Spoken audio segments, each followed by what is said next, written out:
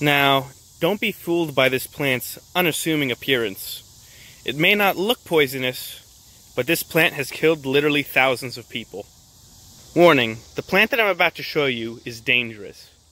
Not only is it capable of killing even adult humans, but it does so in an incredibly unpleasant manner. The purpose of this video is to show you this plant so that you may better recognize the warning signs and learn to avoid it in a foraging or survival scenario. This is white snake root, and it's a fairly common plant in North America. This plant contains many different toxins, and has the ability to kill humans as well as livestock. Notably, any animal that ingests white snake root will have the poison present in their milk or meat, and any human that would ingest those things would also get poisoned. This is the primary way that people were poisoned by this plant. Back in the 1800s, people didn't know it could do this, and people got something called milk sickness, which would kill them, and it was a result of this plant. Thankfully, it was discovered that this plant was to blame, and now, in the 21st century, the chance of getting milk sickness is next to nothing. However, before this was discovered, it claimed thousands of lives, including Abraham Lincoln's mother. The risk today from this plant is minimal. However, you could get poisoned if you drank the milk from a single cow which grazed on an improperly maintained pasture which contained white snake root. Another potential risk is that this plant looks very similar to stinging nettle, which is a wild edible. While I haven't heard of any cases of people being poisoned in this manner, mistaking it for stinging nettle, it is possible. The toxins are not destroyed by cooking, so if you were to gather a bunch, like you would stinging nettle, and cook it in a soup, you could potentially poison yourself. Some of the warning signs include dark green, arrow shaped leaves, although color can vary, a hairless, reddish brown to green stem, and when it blooms, it has white flowers. However, if you did initially mistake this for stinging nettle, it would probably be a good idea to know how it tastes as that would be your final warning before you poisoned yourself. Now, the information on what this plant tastes like is not all that good.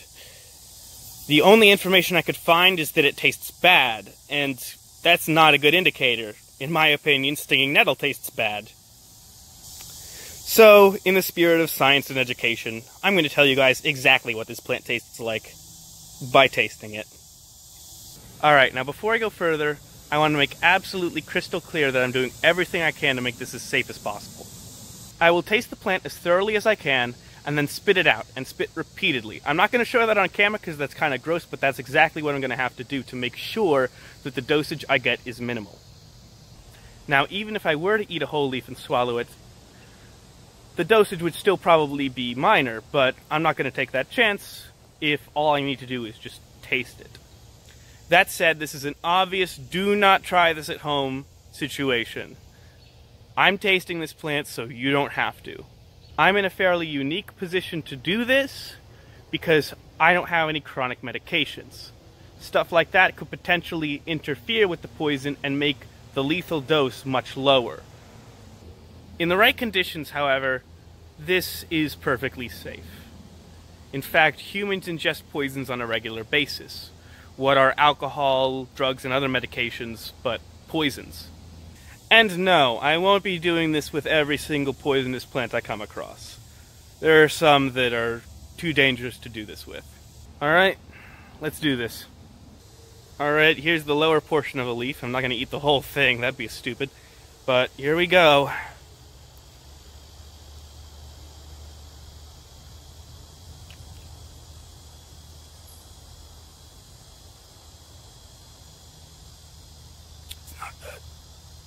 Well, no surprises here. It tastes awful.